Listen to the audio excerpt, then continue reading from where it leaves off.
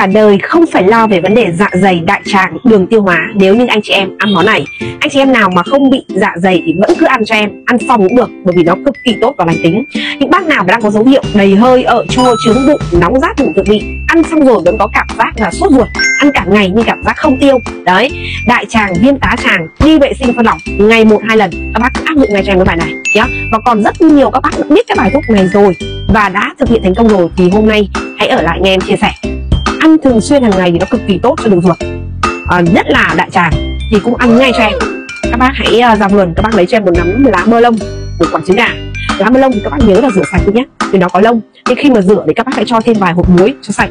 Các bác ngâm khoảng 15 phút sau đó các bác nuốt ra. Bác thái nhỏ đập một quả trứng gà ta vào. Và có rất nhiều cái cách ăn nhưng cái cách mà em thấy dễ ăn nhất đó là các bác hấp vào nồi tôm hoặc các bác có thể trộn đều nó sau đó các bác cho lên chảo các bác ốp dán lên nhưng các bác không cho dầu nhá các bác hãy ăn vào buổi sáng khi chưa ăn gì cả, hoặc là ăn buổi tối. Cũng khi chưa ăn gì, và cố gắng duy trì ăn hai bữa. Trong cái thời gian này thì dạ dày của bác sẽ hết viêm loét và trong dạ dày. Vì trong thành phần lá mơ nó có cái chất chống tiết dịch bị axit. Các bác ạ, như là nó sẽ làm lành các cái vết viêm vết loét ở dạ dày. Thì anh chị em nào mà làm rồi, ăn rồi thì hãy comment dưới video này cho em biết rồi nhá.